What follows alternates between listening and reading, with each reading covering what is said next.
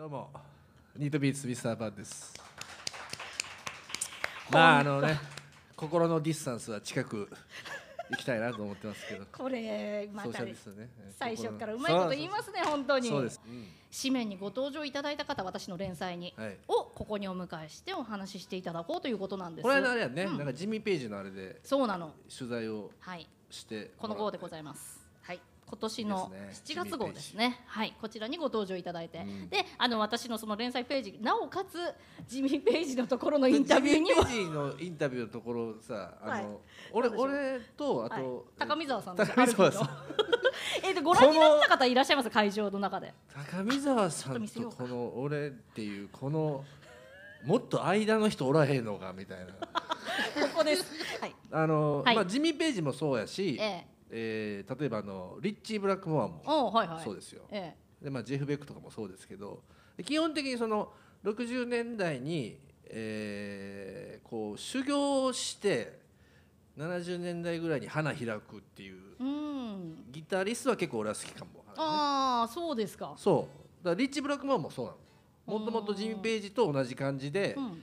結構ビートバンドっていうかイギリスのそういう60年代の、うん結構ビートバンドをやってた人だから。ああ、まあ、いや。やっぱりみんなこうね同じだよね流れがね。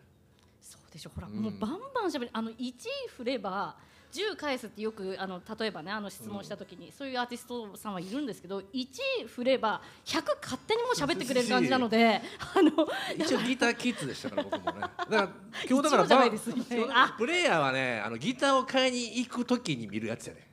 広告それね。あとメンバー募集を見る時に見るやつやね。プレイヤーは当時。それよく言われるんですよ、なんか。そう結構ね。大人な感じだあのおしゃれなうん。プレイヤーは。あらおしゃれ。当時はね。キース・リチャーズとか乗る時はいははい。プレイヤー買うねんけど、はい。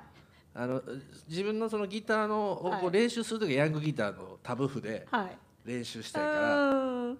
ヤングギターを買うっていう。プレイヤーは結構その大人の俺当時からして大人の感じだったねノリね。じゃあ。で広告が多かったのプレイヤー当時 そこはねそれをすごいみんながた今少ないからね。いやまあ今はもうネットがあるからあれやけそど、うですね。えやっぱあの、うん。本はね、えはい。その広告が、うん。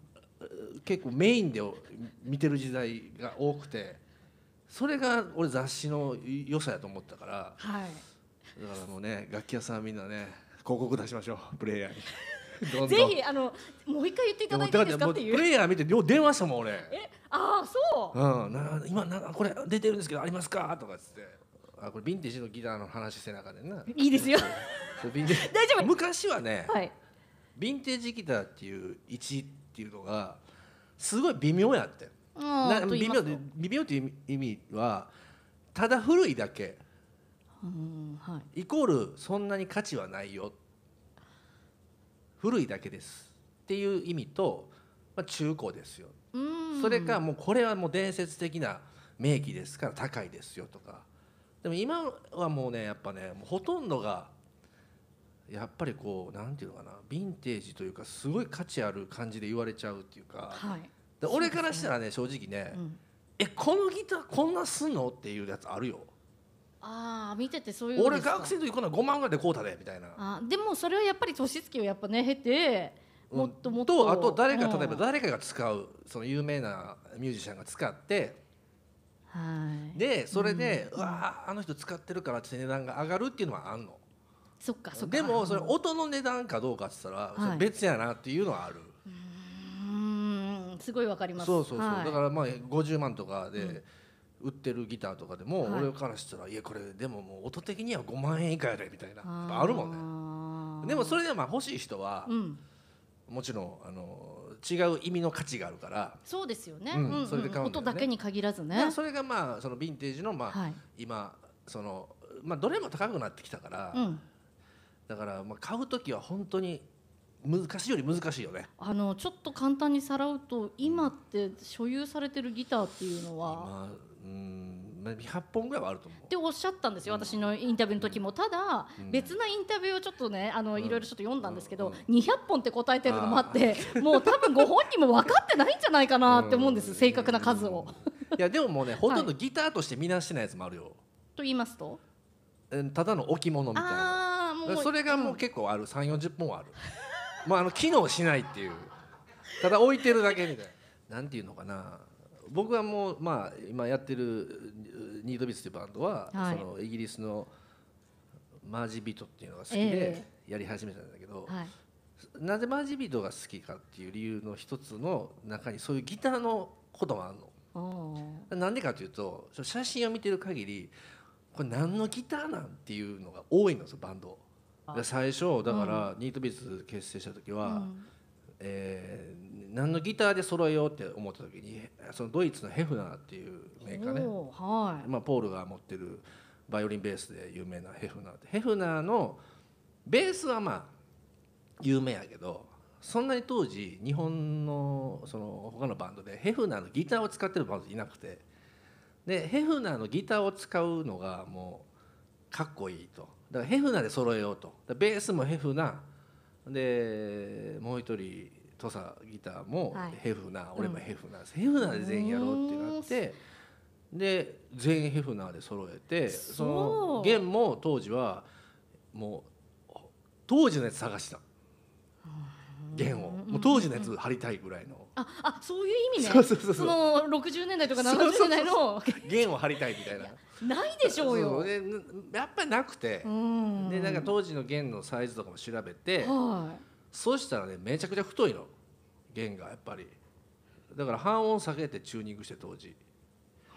半音下げチューニングって。言はって、うんうん。ギターの半音もう半音下げ下げなチョーキングとかできんの。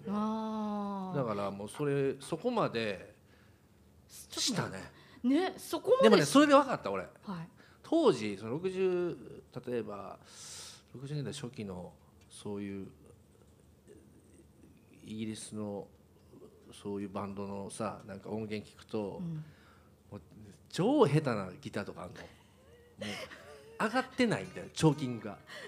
半音ぐらいしかみたいな。一音上げなあかんのがこうちょっと半音ぐらいみたいな。うんうん弦がやっぱ太かったんやと思って。あー自分でやってみても分かるし、ね、痛い痛い痛いみたいな感じ。しょうがないんだ部分もあると。できひんやんみたいな。ああとあのー音が切れてるっていうか伸びひんみたいな。あのもう弦が太すぎてうんうんうんうんアタックがだけになってうん。サステインが伸びないとか。あとちょっとこう丸になってんねんけどこれ。あーちょっとこうカーブついてんの。ます。はい。まっすぐなやつとかあんねんかまあかまぼこの板で弾いてるみたいな。いやもう全然弾かれへんの。ほんまに。でそんなギターを頑張って弾いてたんだと思ったら涙なしでは聴けないみたいな、でこれをみんな「いや下手やん」って聞いて下手やんってこう言ってしまう人の方が多いねんけど、うん。いや頑張ってんねんってみたいな。そそれこれ下手にこれがんうまい方やでこれみたいな。あるよ。うんだってこいつらギブソンフェンダーちゃうでみたいな。それがこう例えば売れてきてギブソン持ったりフェンダー持ったりっていう流れのなんかドリーム感がいいなみたいな。ドリーム感ね。そう。これ。はねなんか当時のねロンドンバーンズってあってこれはね当時のなんかあの B 級のビートバンドがねこういう形のギターをよく持ってる写真があって、はい。ベースマンの同じ形のああそうなんですね。はい。で俺ベースも持ってんねんけど これでを揃えたいみたいな。なな ここれを。そう。れで。これを揃えたくてでもメーカーが分からへんくてで当時いろいろ調べたらロンドンバーンズバーンズロンドン、バーンズっていうメーカーやってことが発覚してそれでもうねそそれはメーカーのやつは結構ね集めたっていうかねモデル、へー。でこの調べるとね、この、もう一つ違う形のやつをあのジョージ・ハリスンが持ってる写真があったりするの。あそうですか。それ使ってたのかどうかは別として、スタジオかなんかで持ってる写真があって、はい。ああやっぱジョージ・ハリスンとかもこれ持ったんだみたいな、うん。でそれでちょっと燃えたみたいな。う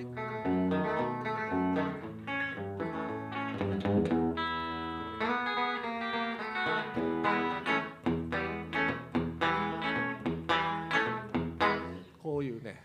か枯れた音って言ったらいいのかな。